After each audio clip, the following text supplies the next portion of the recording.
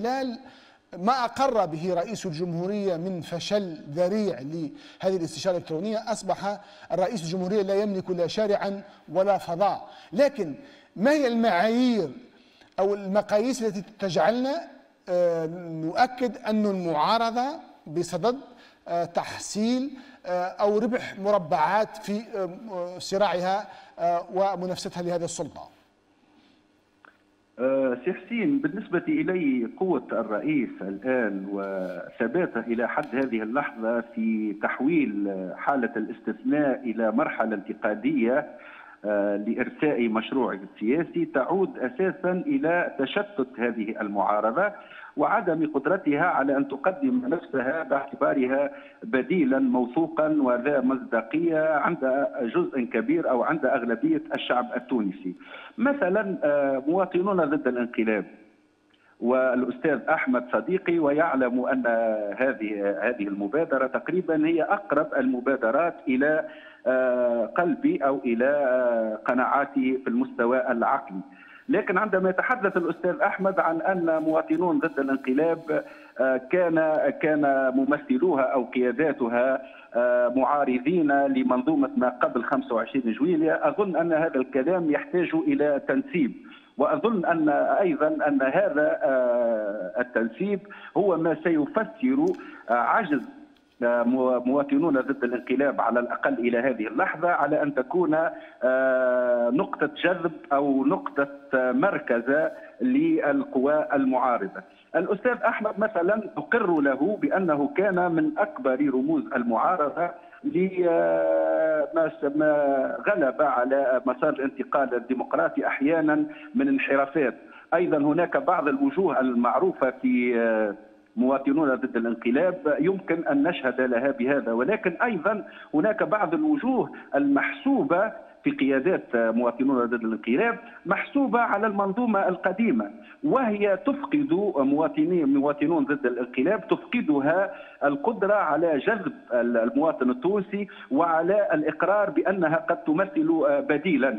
المواطن التونسي عندما يرى بعض الوجوه في مواطنون ضد الانقلاب يحس أنها مجرد أداة لإعادة منظومة ما قبل 25 جويليا وهذا من الناحية التسويقية يعني من ال marketing نحكي في السياسة marketing نعم.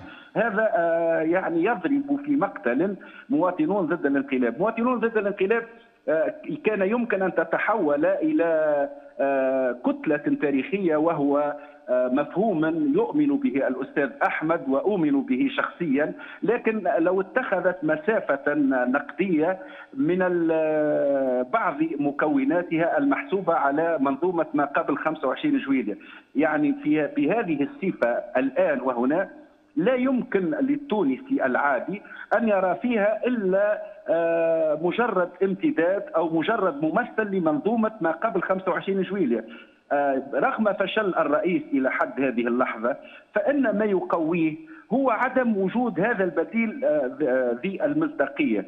الأستاذ أحمد يتحدث عن توسيع قاعدة المعارضة ووجود مشروع للتحالف مع مكون آخر من مكونات المعارضة لكن يجب أن يطرح على نفسه أيضا لماذا تعجز مواطنون ضد الانقلاب على أن آه، تجتذب آه، المكونات الأخرى. يعني هل هناك فعلا سبب آه، إيديولوجي فقط. هل هناك سبب أن هذه القوى تميل إلى منظومه ما قبل ما بعد 25 جويلية أو تميل إلى أن تدعم إجراءات الرئيس أم أن هناك أيضا إشكال ما في غياب طرح واضح بديل واضح؟ هذا البديل لا يحكمه مفهوم العودة.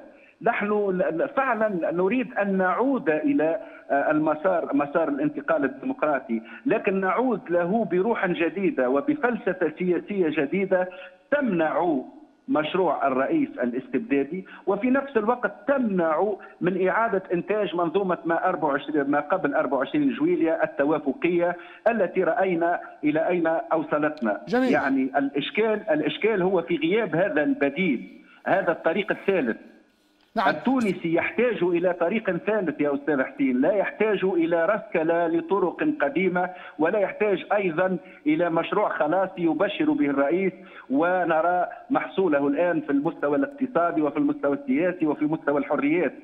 نعم.